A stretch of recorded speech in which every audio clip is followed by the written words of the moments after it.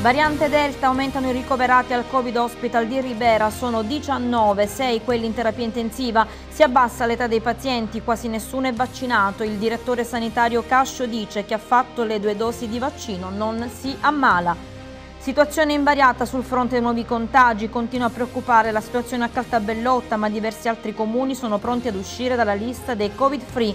Si temono ulteriori incrementi di positivi e di ricoverati.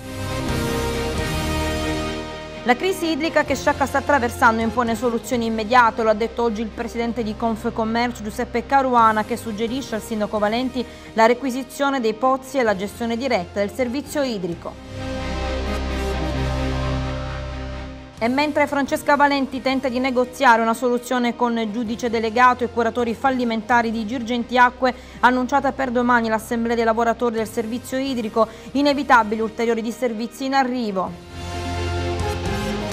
Raccolta differenziata, il comune di Villafranca Sicula al secondo posto tra i comuni ricicloni. Seguono Calamonaci e Lucca Sicula. Si tratta di municipalità dove sono stati prodotti meno di 75 kg di rifiuti all'anno per abitante. Si svolgerà online quest'anno la caccia al tesoro fotografica Life Memorial Fabrizio Priro, decisione per garantire continuità all'iniziativa dell'associazione L'Altra Sciacca rispettando le regole imposte dall'emergenza Covid.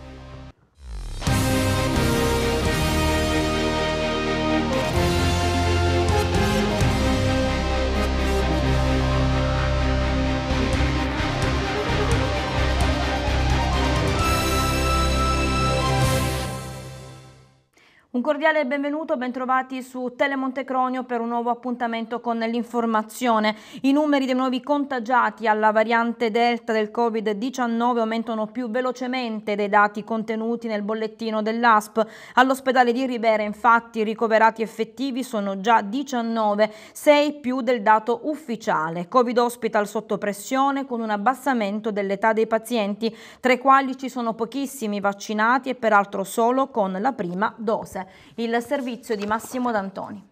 Anche se l'ultimo bollettino dell'ASP diramato questa mattina indica 13 posti letto occupati, in realtà sono già saliti a 19 nelle scorse ore ricoverati al Covid Hospital di Ribera.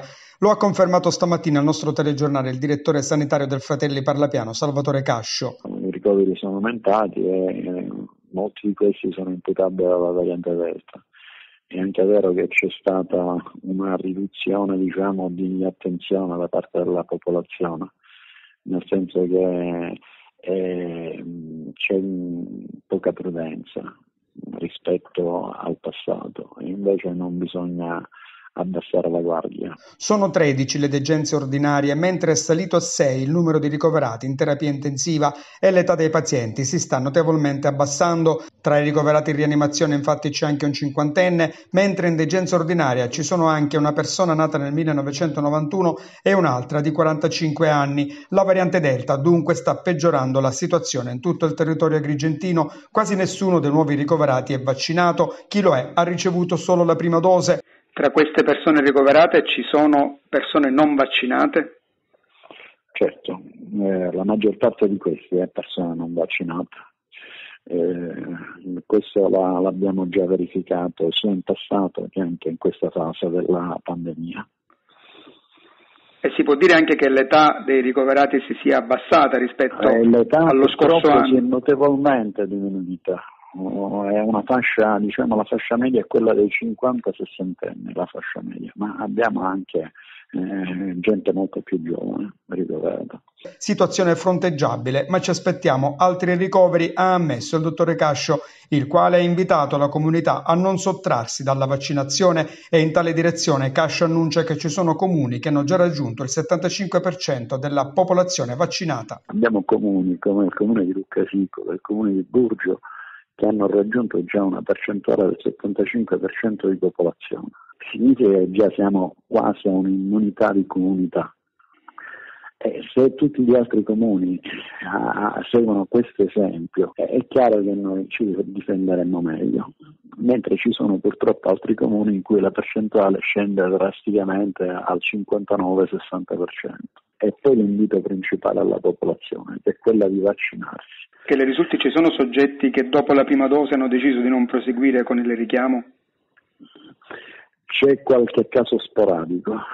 Eh, nella stragrande maggioranza dei casi eh, invece eh, la gente risponde alla, dopo la prima dose al richiamo, viene del richiamo. È chiaro che queste sono manifestazioni individuali che è difficile anche da governare. Il consiglio è di fare la vaccinazione completa anche perché quei pochi casi di persone vaccinate che hanno preso il Covid, io parlo per lo Stato di Ribera, sono solamente coloro che hanno fatto la prima dose. Non ci sono ad oggi soggetti con vaccinazione completa che hanno preso il Covid. Eh, siete preparati alla possibilità di un ulteriore incremento di ricoveri? Sì, sì, siamo preparati. Siamo in grado di in brevissimo tempo di, aumentare i posti letto. Situazione invariata sul fronte dei nuovi contagi in provincia di Agrigento, secondo i numeri forniti dall'ASP nel bollettino diramato questa mattina. Desta sempre preoccupazione la situazione di Caltabellotta, ma iniziano a temere un nuovo incremento di positivi anche diversi comuni che non sono più Covid-free. C'è il servizio. Una tregua solo apparente, quella del contagio in provincia di Agrigento. Nessun nuovo positivo nel report diramato questa mattina dall'azienda sanitaria provinciale, ma con riferimento ai tamponi della giornata di domenica, appena 128. Quelli effettuati nella giornata di ieri sono invece 457. Da un lato la conferma di come sia stato necessario incrementare il tracciamento, dall'altro il timore legato al possibile esito positivo di molti di questi tamponi. Il comune di Caltabellotta attende con il fiato sospeso l'esito di una quindicina di tamponi effettuati su soggetti già risultati positivi al test rapido, contatti diretti delle 23 persone ufficialmente contagiate ad oggi e che hanno fatto accendere i riflettori sul piccolo comune montano che rischia sempre la zona rossa se il focolaio dovesse ulteriormente allargarsi. Negli ultimi giorni peraltro diversi comuni non sono più covid-free e seppur al momento registrino un solo caso di positività il campanello di allarme è già scattato dopo settimane in cui era prevalsa l'illusione di un'estate senza contagi. A Menfi la persona risultata positiva al coronavirus, l'unica al momento, è stata ricoverata in ospedale e si attende l'esito di 15 tamponi molecolari già effettuati ai contatti diretti. Analoga situazione a Luccasicolo e Cianciana, mentre Sambuca è passata da 0 a 2 positivi. Sempre 12 contagiati a Sciacca e 3 a Ribera. 14 i comuni rimasti covid-free sono Santa Margherita Belice, Villafranca Sicula, Santa Elisabetta, Sant'Angelo Muxaro, Montevago, Montallegro, Ioppolo Giancaxio, Grotte, Comitini, Cattolica Eraclea, Castrofilippo, Calamona Ciburgio e Bivona.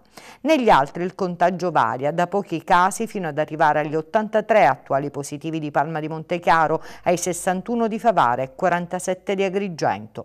Il report diffuso dall'azienda sanitaria sanitaria provinciale riporta una sola guarigione avvenuta nel comune di Licata dove adesso i positivi sono 15. Sul fronte ricoveri, come abbiamo ascoltato dal direttore sanitario del Covid Hospital di Ribera, la situazione aggiornata vede occupati 19 posti letto complessivamente, 6 dei quali in terapia intensiva rispetto ai 13 ricoveri riferiti nel bollettino dell'ASP. Da evidenziare infine che la scorsa settimana erano 233 i positivi in tutta la provincia di Agrigento, mentre al 19 luglio sono adesso 445 i contagiati e senza tener conto delle guarigioni che pure ci sono state. Un incremento in linea con quello registrato in tutta l'isola. Nell'arco di una settimana i nuovi contagi in Sicilia sono stati 2.206, il 99,5% in più rispetto a sette giorni prima, quando già si era registrato un incremento del 36%.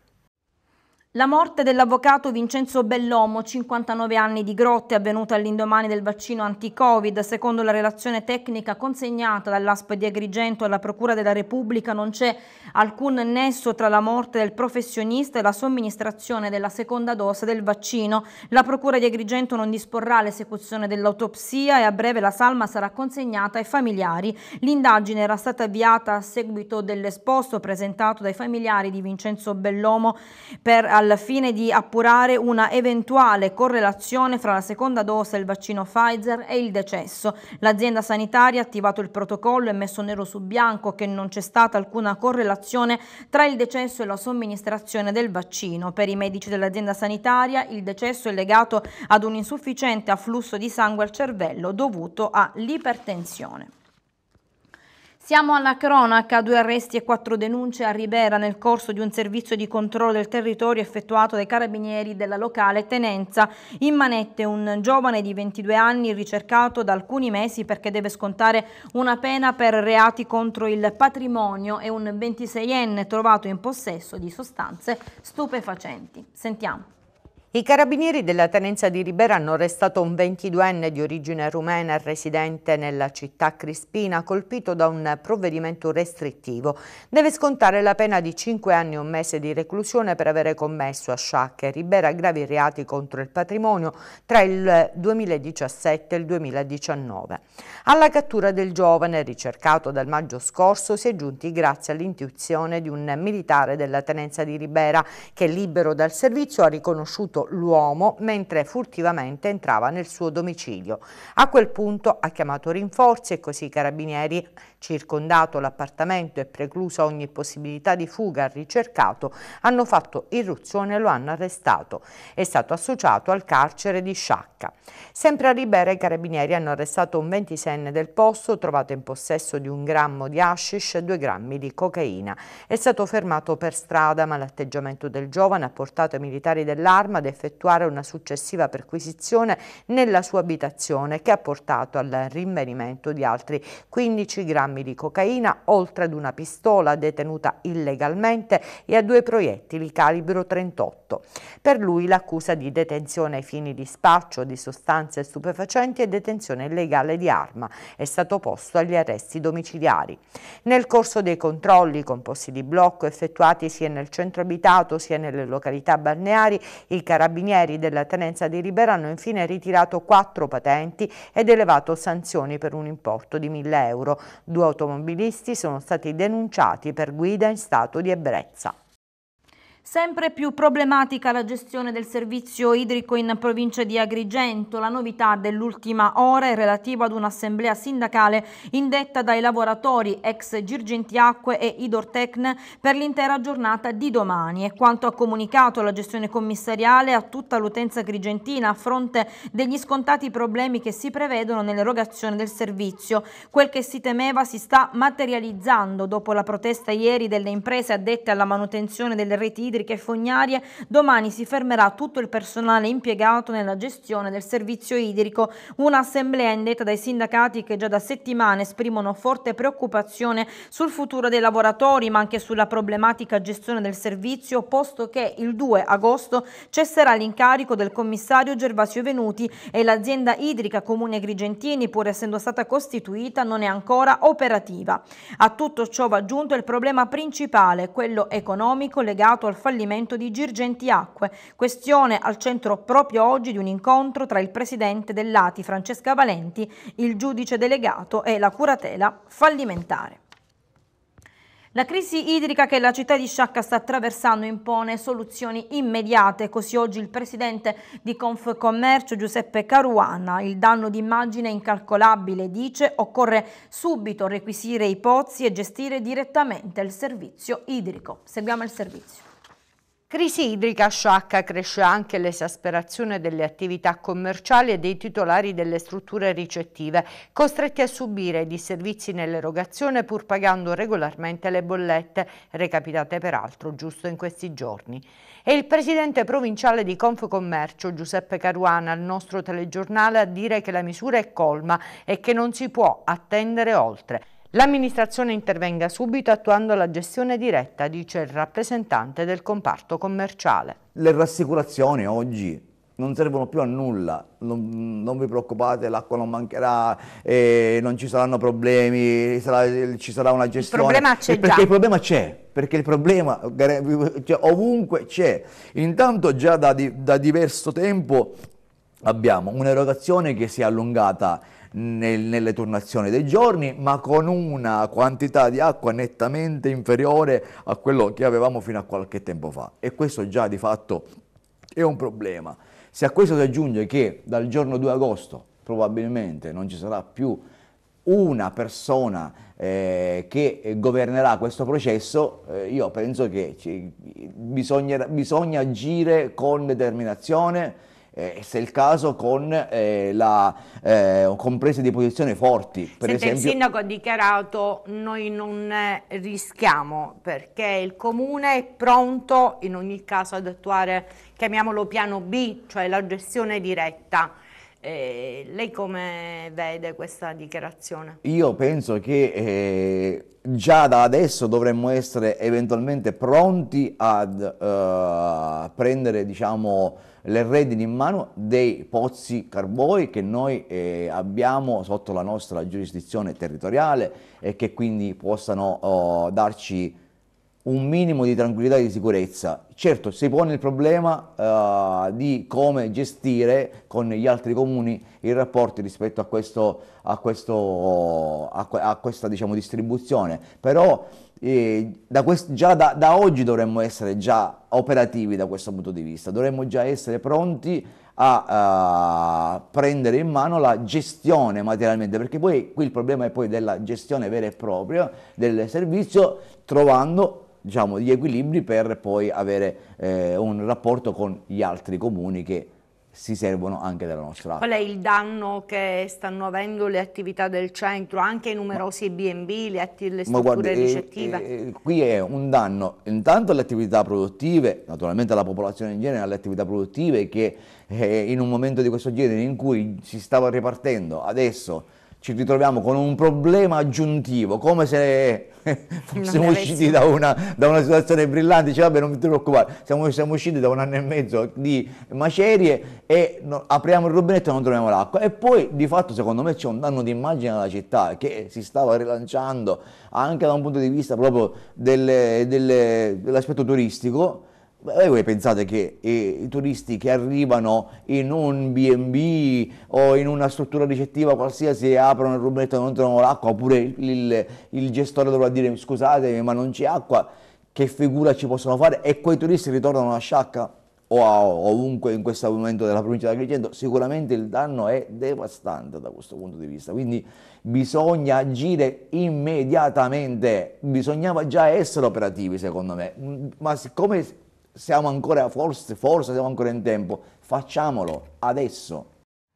La questione Girgenti Acque deve essere risolta al più presto, occorre nell'immediato dare risposta ai cittadini. Il governo regionale si deve attivare nel più breve tempo possibile con risoluzioni straordinarie e tempestive. Così Filippo Perconti, portavoce del Movimento 5 Stelle alla Camera dei Deputati, a margine dell'incontro avuto ieri con le imprese creditrici sostenute dalla CNA di Agrigento che si occupano della gestione del servizio idrico e delle attività di manutenzione. Imprese che ieri sono tornate a protestare, hanno maturato crediti molto rilevanti con Girgenti Acque e sono prossime al rischio di fallimento. Il parlamentare per Conte ha auspicato un intervento celere e decisivo della Regione per evitare momenti di tensione sociale. Copiosa perdita idrica in via Dante Alighieri a Sciacca con l'acqua che fuoriesce addirittura dalle cavità presenti da un muro di sostegno collocato a bordo strada. Tra le segnalazioni di oggi anche quelle riguardanti due griglie metalliche in via De Gasperi e in via Ferraro che anziché essere sostituite sono state transennate. C'è il servizio.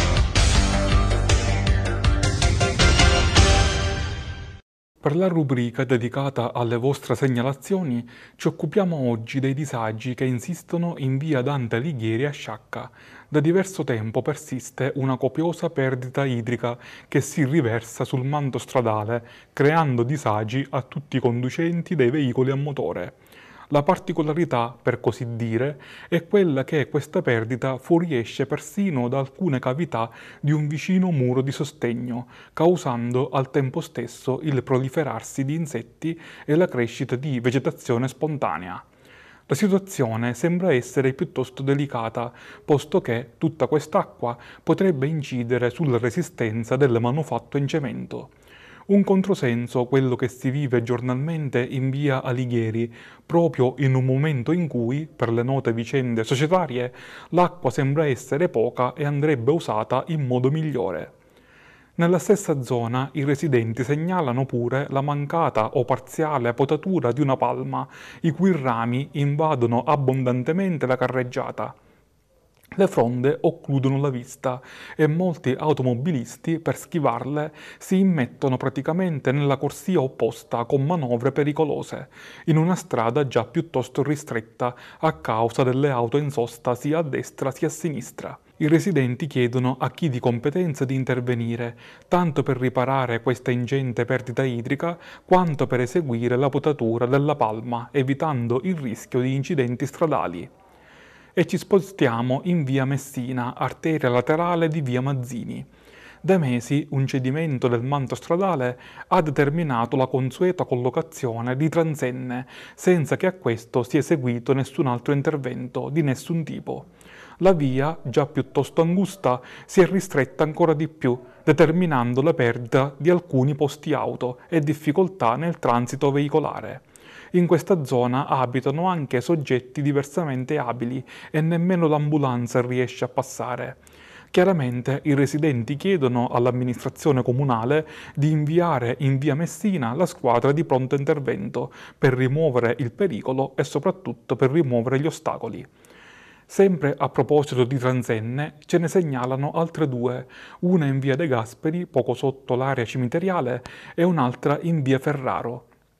Ambedue sono state collocate su griglie metalliche, quelle idonee per il deflusso delle acque meteoriche, che avrebbero bisogno di essere sostituite. Essendo piuttosto sollecitate dal costante passaggio delle auto, le due griglie si sono deteriorate e andrebbero cambiate con delle nuove. Finora niente di tutto questo. Più semplice e più economico mettere una transenna e deviare il traffico, senza programmare null'altro. Il comune di Villa Francasicula, stando ai dati di Lega Ambiente, si è piazzato al secondo posto nel 2021 nella classifica regionale dei comuni ricicloni, quelli al di sotto dei 5.000 abitanti. Al terzo posto Calamonaci e al quarto Lucca Sicula. In questi tre comuni agrigentini si sono prodotti meno di 75 kg di rifiuti all'anno per abitante. Sentiamo. I comuni di Villafranca Sicula, Calamonaci e Lucca Sicula si sono piazzati rispettivamente al secondo, terzo e quarto posto nella classifica di Lega Ambiente per il 2021 riferita ai comuni fino a 5.000 abitanti. Tutte e tre i comuni agrigentini fanno parte dell'Aro Alto Verdura e Gebbia insieme a Burgio che anch'esso ha ottenuto risultati lusinghieri. Nel 2021 Villafranca e Calamonaci hanno sfondato il muro del 90% di raccolta differenziata, mentre Lucca si trova poco dietro. Per la cronaca, al primo posto si trova Longi, comune del Messinese. In questi territori si sono prodotti meno di 75 kg di rifiuti all'anno per abitante. Sì, diciamo che continua la tradizione degli ultimi anni dove vede sempre eh, Villafranca Sicola ai primi posti della classifica regionale, al primo posto della classifica provinciale per la raccolta differenziata. E questo sicuramente è un grande obiettivo raggiunto eh, per cui dobbiamo dire grazie ai nostri concittadini che con grande impegno cercano di eh, favorire la raccolta differenziata, agli operatori, un po' ai gestori del servizio per quanto riguarda la vostra raccolta siete, avete superato il 90%, sembra un obiettivo impossibile, ma come colmare ancora l'ulteriore step per arrivare magari al 100%? Eh, certo, questo sarebbe una cosa importantissima, riuscire ancora a aumentare quel livello, quel 90%, eh, però sai, ci sono ancora delle diffidenze da parte di, e di alcune persone che a livello culturale non hanno recepito il messaggio che differenziare eh, è importante per tutta una serie di cose, magari come in ogni posto e come in tutti i comuni si trova poi il vandalo che abbandona la, la differenziata o che cerca di, di, non farla in modo corretto, però sono convinto che magari con l'ausilio eh, delle scuole, delle nuove generazioni, questo sia un, un obiettivo che possiamo raggiungere, una percentuale che sicuramente si può aumentare. Un'ultima considerazione, eh, voi come Aro Alto Verdure e Gebbi state lavorando molto bene perché tutti e quattro i comuni hanno risultati ottimi. Sì, sì, sì, diciamo che tutti e quattro i comuni eh, hanno raggiunto eh, percentuali importanti, sicuramente la gestione dell'Aro, chi gestisce il nostro Aro ha, tantissime professionalità e competenze e quindi cerca di, di utilizzare quegli accorgimenti che possano sempre fare migliorare le, le percentuali della nostra raccolta con degli accorgimenti che magari in, comu- in un comune o in un altro comune mm, possono essere differenti, ma sicuramente poi fanno la differenza nella raccolta differenziata. Si svolgerà online la caccia al tesoro fotografica Life Memorial Fabrizio Piro, una nuova modalità nata dall'esigenza di dare continuità al progetto e al tempo stesso rispettare le regole dettate dall'emergenza Covid. Le iscrizioni vanno effettuate entro giovedì 22 luglio. Sentiamo. Dopo un anno di pausa torna la caccia al tesoro fotografica Life Memorial Fabrizio Piro. Lo staff di Life infatti ha organizzato quest'anno una caccia al tesoro in una veste del tutto nuova pur di dare continuità al progetto guardando con ottimismo l'arrivo di tempi migliori per attuare le vecchie modalità. La caccia al tesoro di quest'anno sarà infatti online e si svolgerà dal 23 al 25 luglio. Le squadre partecipanti riceveranno riceveranno via mail alle ore 18 del 23 luglio gli indizi da decifrare ed avranno tempo fino a domenica per andare a fotografare gli obiettivi. Questi ultimi dovranno poi essere postati su un account Instagram di un componente della squadra per essere valutati successivamente dalla giuria. Non sarà una gara di velocità, ma stavolta a vincere saranno le squadre che avranno indovinato gli obiettivi e che al contempo avranno scattato le foto più belle. Niente raduno di presenza quindi, ma sicuramente un'esperienza diversa che non farà mancare un po' di sano divertimento. Per le iscrizioni c'è tempo fino alle ore 18 di giovedì 22 luglio e stavolta non c'è limite al numero di squadre che potranno partecipare. Il progetto LIFE proseguirà successivamente con il challenge Instagram, il cui tema sarà svelato in occasione della caccia al tesoro. Il progetto LIFE è organizzato dagli amici e familiari di Fabrizio Piro, dal club fotografico amatoriale L'Altra Sciacca Foto, dalla community Instagram Aigers Agrigento con il patrocinio del comune di Sciacca. La comunità di Menfi tra cittadini e scout ha donato 3 tonnellate di tappi alla, alla, missione Speranza e Carità di Biagio Conte. I proventi ricavati dalla loro vendita serviranno a finanziare i centri che nel Palermitano si sono occupati di fornire un pasto caldo e un tetto ai meno fortunati. Sentiamo sono state consegnate 3 tonnellate di tappi per la missione Speranza e Carità di Fratel Biagio Conte, raccolti dalla comunità di Menfi in circa due anni. A ritirare i tappi sono stati i vigili del fuoco di Agrigento che hanno messo a disposizione il loro mezzo di trasporto, un rappresentante del gruppo Agesce Agrigento 6 e un delegato della missione di Fratel Biagio. I ragazzi dell'oratorio San Domenico Savio, il gruppo Masci Menfi 2 con il patrocinio del comune di Menfi si sono adoperati per la consegna dei 150 sacchi di tappi raccolti durante questi ultimi due anni. Un momento di forti emozioni per coloro che hanno attivamente sostenuto la fondatrice del gruppo di raccolta tappi a Menfi, Fina Marrone, da poco venuta a mancare. Durante la Santa Messa in Chiesa Madre i fedeli hanno assistito ad una breve testimonianza del delegato di Fratel Biagio e a un saluto del sindaco. La raccolta tappi continuerà ancora presso l'oratorio San Domenico Savio i mercoledì dalle 18 alle 19 durante il periodo estivo, nelle chiese durante le Sante Messe, all'ex Soggeir e presso le isole ecologiche Portopalo e Fiori. La raccolta tappi per Biagio Conte è stata un'iniziativa accolta con speranza da parte di tutti i cittadini che hanno contribuito e sostenuto il sogno di raggiungere una fattiva quantità di tappi. Grazie alla loro vendita ad una ditta specializzata vengono infatti sostenuti centri che nel Palermitano si occupano dei bisognosi, fornendo loro un tetto e un pasto caldo. Saghe familiari e castelli nella sciacca medievale, Luna e Perollo, un momento tra riletture di eventi e personaggi di un periodo storico importante della città e rievocazioni musicali. Si svolgerà questa sera con inizio alle ore 20 nell'atrio superiore del Palazzo Comunale. L'iniziativa è organizzata dall'Associazione di Promozione Sociale Salvatore Cantone con il patrocinio del Comune di Sciacca. Il convegno si avvarrà delle relazioni, degli studi e delle scoperte degli storici Antonino Ciaccio e Angela Scandagliato. Sono previsti gli interventi del sindaco Francesca Valenti e del presidente dell'Associazione Cantone Rosa Castagno. Cultura, si è svolta ieri al comune di Sciacca la prima serata della rassegna Le parole che non ti ho letto. Vediamo. Pagammo il conto alla fine del soggiorno, come se fosse stato voluto da noi. Si è svolta ieri sera all'interno dell'atrio superiore del comune di Sciacca la prima delle 15 serate della rassegna dal titolo Le parole che non ti ho letto, voci e note per letture drammatizzate, manifestazione promossa dalle associazioni Teatro Oltre e Schenè Academy col patrocinio del comune di Sciacca e con la partecipazione della Futuris, dell'Avis, della Proloco Sciacca Terme e dell'Aulino Editore. Una rassegna che vede la direzione artistica di Franco Bruno e quella musicale di Ignazio Catanzaro, che ieri sera scandiva i momenti della lettura al pianoforte accompagnato al violoncello da Calogero Marotta.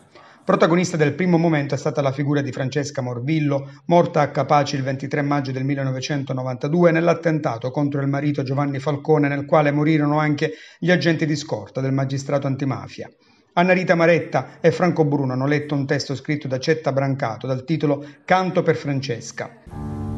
Fuori c'era Palermo una volta e i suoi confini dalle larghe braccia di montagne azzurrissime che ne proteggono una bellezza mistica e volgare.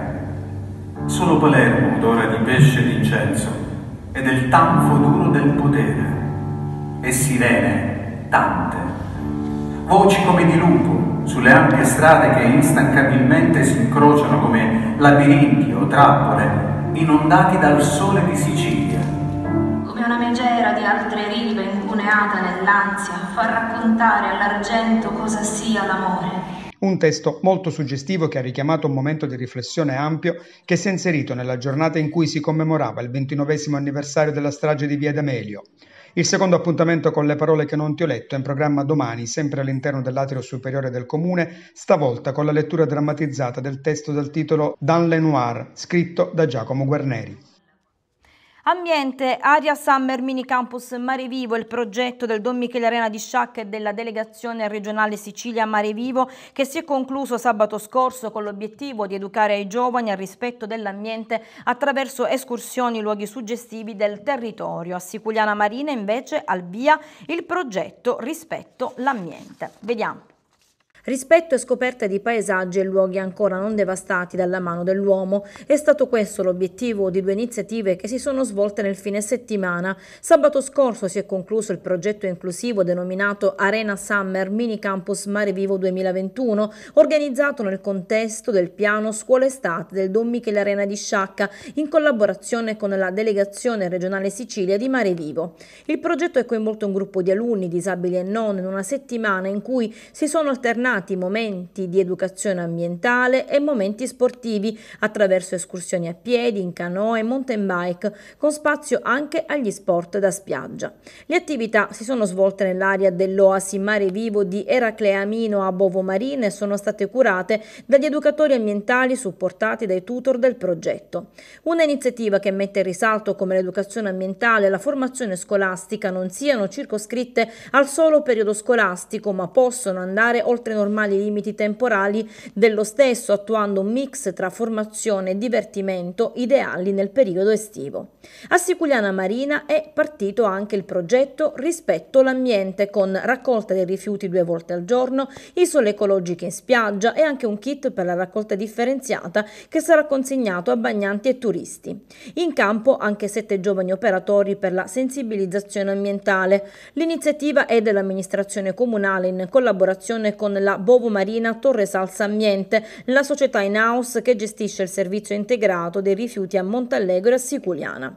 Il kit per la raccolta differenziata in spiaggia, spiega il sindaco Peppe Zambito, è tra le iniziative che stiamo promuovendo per favorire la rinascita del borgo marinaro di Siculiana Marina e che stiamo migliorando anche con diversi interventi di riqualificazione per il decoro urbano.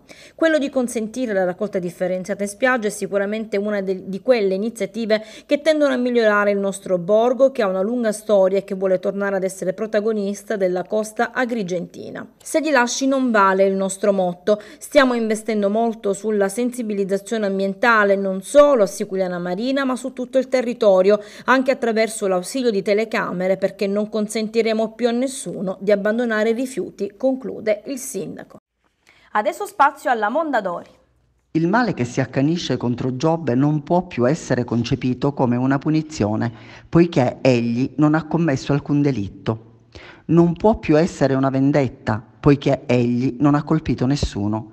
Nel trovarsi esposto alla violenza insensata della sofferenza, Giobbe si trova immerso in un'esperienza intraducibile. Il grido di Giobbe accade quando le parole sono costrette al silenzio, spezzate dal trauma del male. Esso non è indice di rassegnazione, ma di lotta e di resistenza.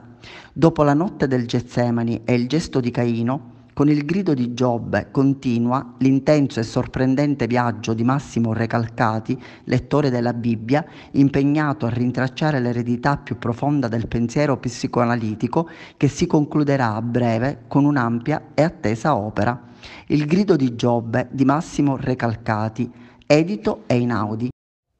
L'Unitas Sciacca Calcio ha organizzato stage per giovani aspiranti calciatori che andranno a comporre le formazioni che con i colori nero-verdi affronteranno i vari tornei giovanili venerdì 23 e sabato 24 luglio dalle 17 alle 19 presso l'impianto Isabella Sport si svolgeranno le selezioni per reclutare i giovani, giovani leve che parteciperanno ai vari campionati. La selezione sarà diretta da Vincenzo Piazza, coordinatore tecnico e amministrativo del settore giovanile dell'Unitas Sciacca lo stesso Piazza durante la stagione agonistica guiderà la squadra giovanissimi con la collaborazione di Saverio Guardino, mentre le squadre che parteciperanno agli altri campionati sono state affidate rispettivamente ad Antonio Abbene che usufruirà della collaborazione di Vincenzo Coco e Salvo Crivello.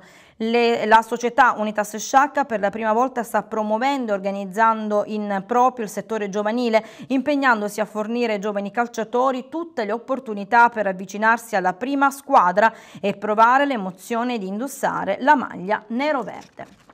Era l'ultima notizia, siamo in chiusura, vi ringrazio per essere rimasti con noi e vi rinnovo l'appuntamento come sempre alle prossime edizioni per tutti gli aggiornamenti. Grazie e buona giornata.